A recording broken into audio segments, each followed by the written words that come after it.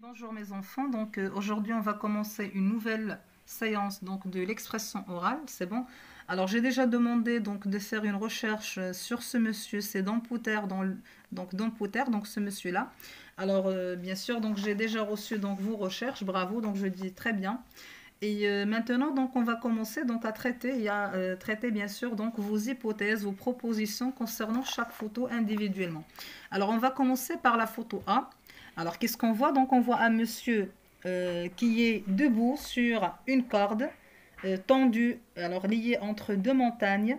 C'est bon? Alors, on peut dire que ce monsieur, donc, c'est pas facile et c'est pas, on peut même pas imaginer un monsieur qui peut faire comme ça. Donc, ça, c'est incroyable. Alors, et euh, donc, ce monsieur, donc, on a, pour les gens qui ont déjà fait la recherche, alors, qu'est-ce qu'ils ont trouvé? Donc, ils ont dit que ce monsieur, donc, s'appelait donc Dampouter. Donc c'est un alpiniste, grimpeur, équilibriste et parachutiste américain. Alors euh, il est né le 14 avril 1912 et il est, euh, mort en, le 16 mai 2015 à l'âge de 42 ans.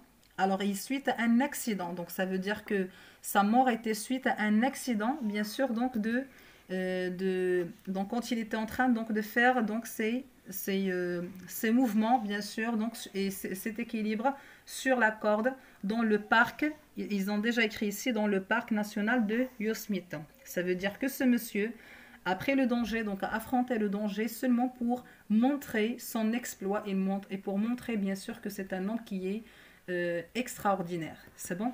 Alors pour la photo B, qu'est-ce que vous remarquez? Donc il y a un, monsieur, bien sûr, qui est euh, debout face bien sûr aux engins. Et des, on dit des engins ou bien des chars. Alors des chars, ce sont des véhicules utilisés dans la guerre. C'est bon? Alors ce monsieur, qu'est-ce qu'ils ont euh, écrit ici comme commentaire? C'est manifestation d'étudiants sur la place Tiananmen à Pékin, en Chine, en 1989. Et on a déjà expliqué le mot manifestation, ça veut dire les gens, quand ils euh, se manifestent, c'est quand ils ne sont pas d'accord, euh, que ce soit euh, une loi, que ce soit une décision. Alors, et ces, gens-là, donc, ce sont des étudiants. Ça veut dire, ces étudiants-là, ils se manifestent. Pourquoi? Parce qu'ils ne sont pas d'accord euh, par exemple, donc, aux lois donc, du gouvernement. C'est pour cela qu'il se manifeste donc de cette façon. C'est bon?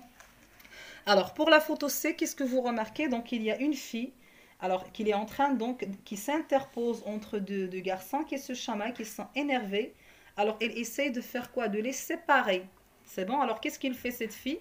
Alors, il affronte le danger, par exemple, parce que cette fille, donc, il peut avoir, bien sûr, des coups de euh, des coups de main ou bien des coups de pied donc de la part de ces deux garçons. Alors, donc, la chose en commun entre les trois photos, ça veut dire que ce soit la photo A, que ce soit la photo B, que ce soit la photo C, ce sont des gens qui affrontent le danger, euh, que ce soit ici pour réaliser un exploit, ici, on peut dire pour défendre leurs pensées, leurs idées, ou bien ici, donc, c'est pour arrêter, bien sûr, des garçons qui se chamaillent.